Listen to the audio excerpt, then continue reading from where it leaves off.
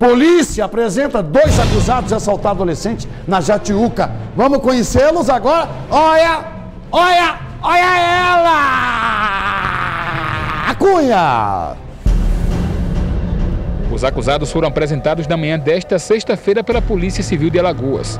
Foram presos Diego Albuquerque Silva e Cledson Anderson Santos. Eles aparecem nas imagens de câmeras de segurança roubando um adolescente de 16 anos e espancando.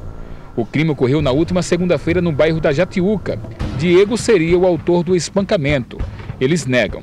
A delegada disse que era eu, mas não sou eu, senhor. Quem seria então? Não conheço, não conheço, eu não estava por lá. O que, é que você achou da agressão lá, na hora que você viu o vídeo? Ah, se fosse com a filha minha também era a mesma coisa. Eu queria preso, mas não foi eu não, senhor. Você ficou revoltado com a agressão? Fiquei, eu também estava até surpreso quando chegaram lá em casa, dizem que era eu mesmo, quando foi o negócio do ônibus, sem eu ter nada a ver. Não tenho nada a dizer não, não, não ando roubando não, irmão. E as imagens? É? E as imagens? As imagens é o que diz, né? Não é você naquelas imagens?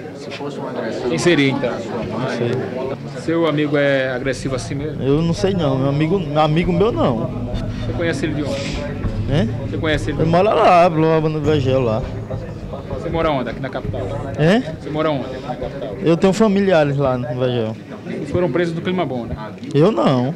Foi preso onde? Eu fui preso, eu tava terminando o curso, vim do curso, eles me abordaram em cima da moto. A polícia revelou ainda que os acusados escolhiam as vítimas para roubar, sempre mulheres. A delegada Maria Angelita garante que outras pessoas teriam sido vítimas da dupla. Eles vão responder pelo crime de roubo majorado.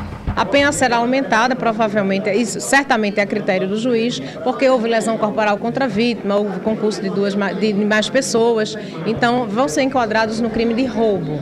A polícia só chegou aos acusados através do Disque Denúncia 181. Veja a importância nesse caso do 181. A própria sociedade ela pode contribuir muito com a polícia, com a sociedade mesmo, na verdade. Então é muito importante. A gente pede que outras pessoas, outras pessoas, outras vítimas desse cidadão, que eles informem através do 181 os seus fatos, porque vão ser investigados. Uma prova disso é o caso que elucidamos hoje.